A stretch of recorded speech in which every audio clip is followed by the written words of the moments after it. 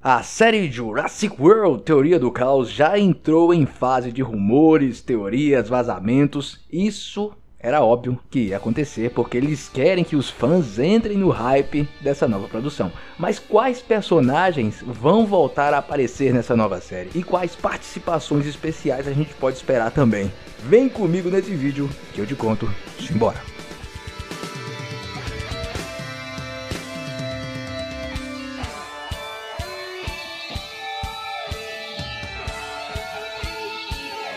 Chega aí, sejam todos bem-vindos ao canal Max One Play. Aqui é o Max. Bandos e fulanos, a caminhada de acampamento jurássico acabou com um grande gancho. E isso foi incrível, porque deixou a gente naquela expectativa para uma nova série. E agora a gente tem absoluta certeza, uma nova série está sendo desenvolvida para ser lançada em 2024. Só resta nós fãs comentarmos né, sobre ela e, claro, fazermos milhões de teorias até o lançamento. É muito bom fazer isso porque a gente entra no clima. E aí é claro que quando a série lança, a gente pode até, quem sabe, é, frustrar, né? Infelizmente pode acontecer isso. Mas vamos torcer que dessa vez eles peguem tudo que deu errado em acampamento jurássico e joguem fora e peguem tudo que deu certo e tentem melhorar ainda mais. Maravilhosa? Então nada mais justo do que você deixar o seu like, se inscrever, ativar as notificações para não perder os próximos vídeos e claro comentar a sua opinião também sobre os possíveis personagens que podem aparecer e a sua opinião geral sobre o que você espera dessa série, ok? Bom, vamos lá. O mais legal, cara, é que os primeiros rumores apontam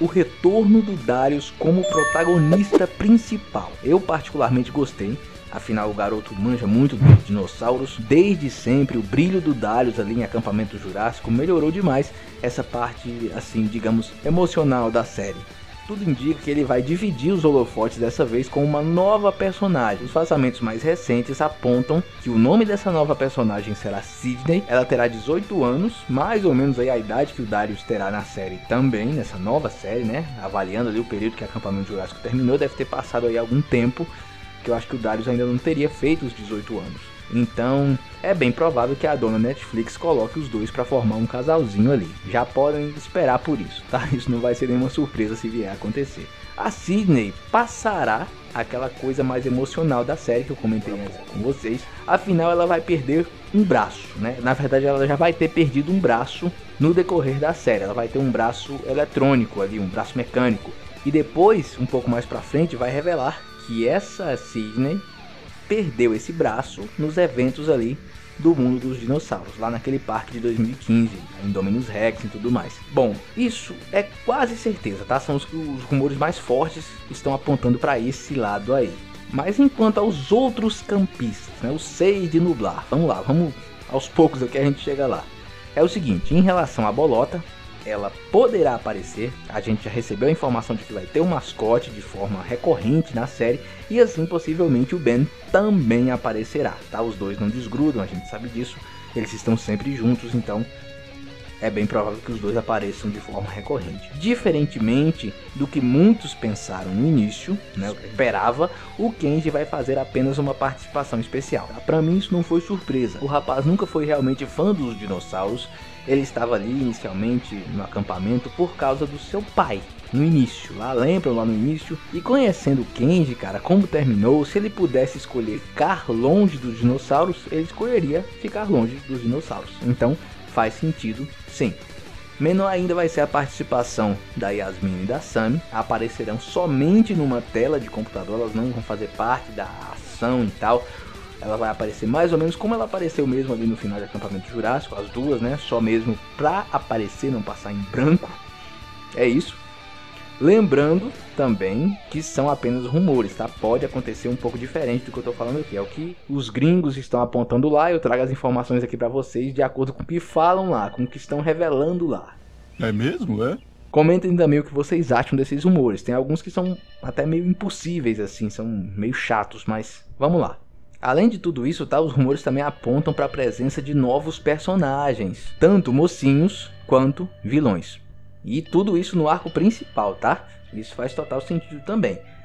Ah, mas e a Brooklyn? Vocês devem estar se perguntando agora, e a Brooklyn, né? Pensou que eu não ia nem citar ela aqui. Enfim, ela estará na série, só que bem menos do que a gente espera, tá? Ela vai aparecer somente no início e no final da série. Claro que se a série vier a ter uma nova temporada, depois disso pode mudar, pode ser que a Brooklyn tenha, participações melhores. Mas o fato é que a produção quer dar muito mais destaque para Sydney. E a Brooklyn ali, como o estilo dela, pode tirar um pouco disso, já que ela e o Dario se conhecem e tudo mais. Então ela vai aparecer no início, né? E no fim da série. Então, cara, de início para mim tá bom. Assim, sabe? Eu acho que a Brooklyn e o Kenji apenas tiveram aquela magia adolescente ali nas últimas temporadas de acampamento jurássico para trazer mais audiência e isso deu tão errado, mas tão errado que eles nem citaram isso nessa nova série. Nem falaram se vai ter um pouco disso ou não, nem citou, tá? Mesmo com os personagens aí confirmados. E por fim, participações marcantes de personagens dos filmes. Vamos lá então, quem é que pode aparecer nessa série, pelo menos nessa primeira temporada.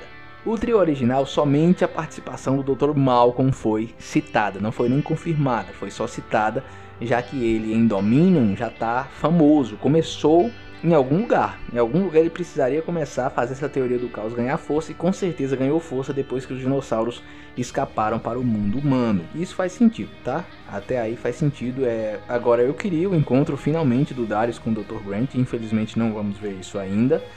Mas vamos torcer que ainda aconteça, tá? Com os dubladores, é, com o dublador oficial do Dr. Grant seria mais legal ainda.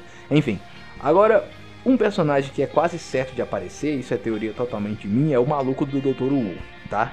Ele com certeza dará o seu parecer nessa nova série. Fiquem atentos. E olha, tem muita coisa que ainda vai surgir, tá? Faz total sentido o Dr. Wu aparecer aí. Ele vai ter uma caminhada até domínio. Então, esse pedaço aí, o que, que ele fez nesse espaço de tempo ali do final do Reino Ameaçado até domínio, tem muita coisa que dá para explorar com esse cara. Com certeza veremos algo sobre a Biosyn, isso também já era certeza que a gente iria caminhar também com, essa, com esse domínio da Biosyn. Conforme forem surgindo novas informações, eu vou trazendo aqui para vocês. Essa série, essa série tem uma liberdade imensa aí para explorar o universo Jurassic Park. Maravilha? não esqueça de deixar o seu like, se inscrever, ativar as notificações para não perder os próximos vídeos e não esqueça de comentar a sua opinião também sobre isso ok? Muito obrigado a todos pela audiência, a gente se vê logo mais. Valeu, valeu.